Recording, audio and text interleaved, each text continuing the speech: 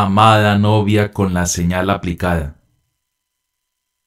Me gustaría que todos nos preparáramos para un servicio muy especial de comunión en casa en la víspera de Año Nuevo, el domingo 31 de diciembre.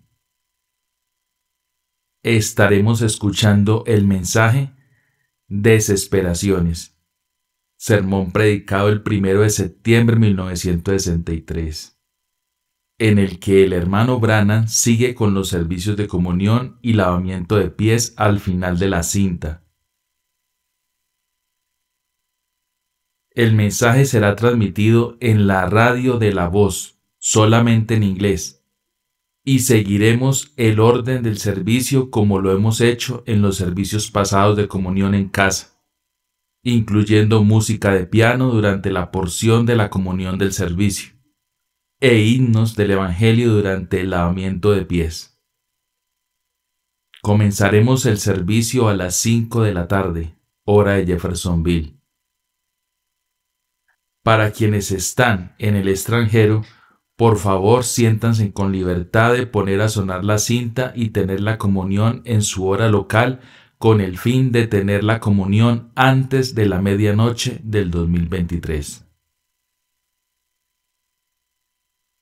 No puedo pensar en una mejor manera de terminar este año de 2023 y comenzar un nuevo año de servicio para el Señor en el 2024, que aquietándonos delante de Él, desesperándonos más por Él, participando de su cena, orando y perdonándonos unos a otros, lavando los pies de sus santos, y escuchando su palabra.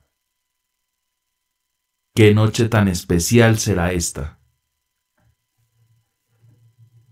A continuación están los enlaces sobre cómo tener, preparar el vino y el pan de la comunión.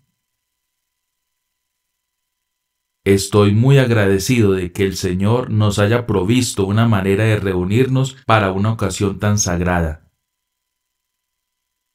Indudablemente estoy deseando encontrarme con todos ustedes en su mesa.